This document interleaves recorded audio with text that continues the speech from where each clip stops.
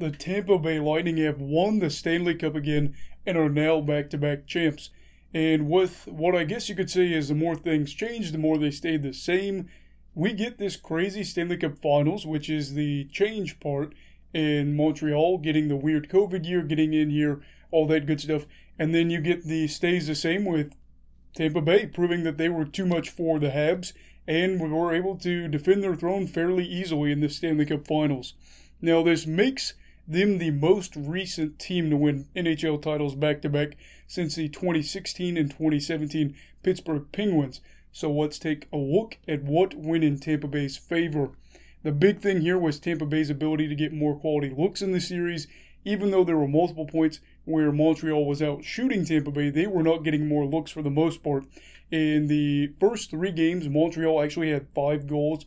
Tampa Bay had 14, one of those being an empty net, but six of those came below the face-off spots where you take your face off, and two of those can be attributed to Tyler Johnson having his impressive game two, no, game three performance. And uh, oh yeah, definitely helped that the Lightning had 17 different players with a point in this series. And of course, another big thing here was Andrei Vasilevskiy. He was tested fairly often in games one and two, and will likely go down with this game too as the defining mark of the series. Montreal outplayed Tampa Bay. However, Vasilevskiy stood tall, and Montreal got Vasilevskiy, as many people have started to call it. With that game, they outshot Tampa Bay 43 to 23 and yeah, I mean, at the end of the day, that could have been a great series uh, potential to change the series with Montreal having a 1 1 series tie going into Montreal. Instead, Tampa Bay had a stranglehold going into Quebec with a 2 0 lead, and that is thanks to the Russian goaltender. And finally, while this isn't necessarily all statistical, it just felt like Tampa Bay was able to get quality looks at the right moments. But important thing is, Montreal, for whatever reason, had a horrendous time trying to clear the puck throughout the series. It just seemed like uh, Tampa Bay was able to just get their sticks on it, get the puck to stay in their offensive end, all that good stuff, which led to unfavorably long shifts against a dominant juggernaut of a offensive team, that being the Lightning. So for the Montreal Canadiens, yes, this loss hurts, hurts bad, I'm sure and it wasn't competitive in a lot of ways. However, there's some positives to come out of this. You've got the young kids playing on the biggest stage. They got experience from this playoff run.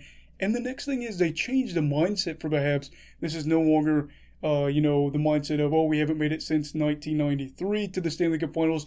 It's done. That's over with. Now they just have to focus on getting to the top of the mountain and claiming the trophy whenever that may be if they get the opportunity with this score. For Tampa Bay, won their second straight title third in franchise history, making them a team that we'll look back at forever as they went to three Stanley Cup finals in seven years, with this group potentially more going forward. However, many will talk about their cap situation being $18 million over the cap.